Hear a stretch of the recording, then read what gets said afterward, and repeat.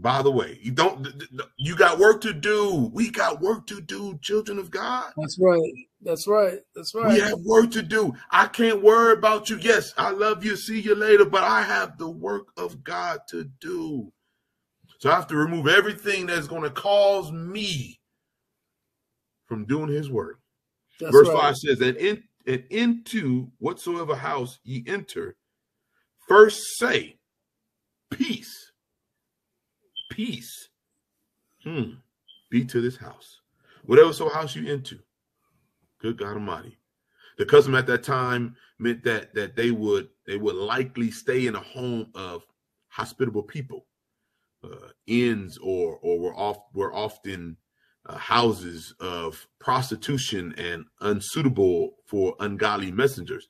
Uh, mm-hmm. They were instructed to bring a blessing of peace to each house if the home would receive, and we're going to talk about that, if the home received you. So he said, whatever house, mm, bring the peace to that home. Now, now, if, in the in the Jewish style, a man who has any good or bad quality is called the son of it. But look what he said. He said, "Peace be to that house." So if you was a man of peace, they would call you what? Son of peace. Mm-hmm. Yeah. If you was yep. a man of, of righteousness, they would call you a man of righteousness. So Jesus wanted us to, he wanted them to represent who he was. Peaceable, quiet man, righteous, benevolent. A mission. That mission would not be accomplished if they could not enter with peace. Verse yes. 6 says, and, and, and if the Son of Peace be there, your peace shall rest upon it. If not, it shall turn to you again. Good God Almighty. Thank you, Holy Spirit. Verse 8, uh, verse 7. And and and, and I'm, I'm, I'm gonna speed up a little bit because we have I want to cover the whole verse 1 through 24.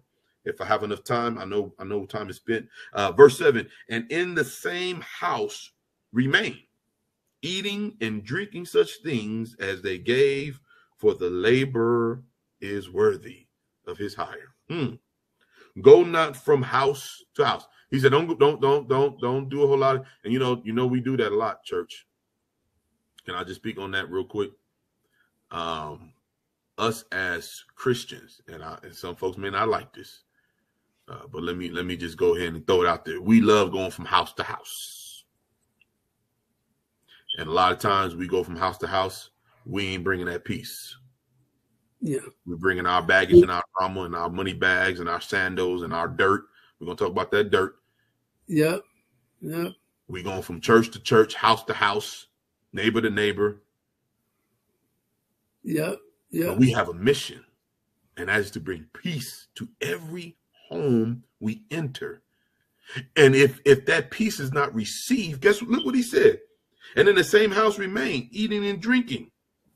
No, no, I'm sorry. Go back, go back, go back. Verse 6. And if the Son of Peace be there, we talked about the Son of Peace, your peace shall rest upon it. If not, it shall it shall what? Turn to you again. So don't worry about if somebody don't give you peace. We we too focused on other folks. Well, if you don't treat me right, I ain't gonna treat you right. No, the Bible says mm-hmm. not for an eye for an eye. But we, we are still stuck. We, we ain't saying eye for an eye. That's how we get around that because we say we, we say to one another, "Well, you did me wrong, so I'm not gonna I'm not gonna treat you right." That's still an eye for an eye. If That's I'm right. not, I may not be doing what you've done to me, but if I don't treat you right and I don't respond in a respectful, loving manner as Jesus Christ, guess what? That's still an eye for an eye. And the yes. people return back to you. Mm, hallelujah. Thank you, Holy Spirit. He just dropped that into me right now. God is good. Verse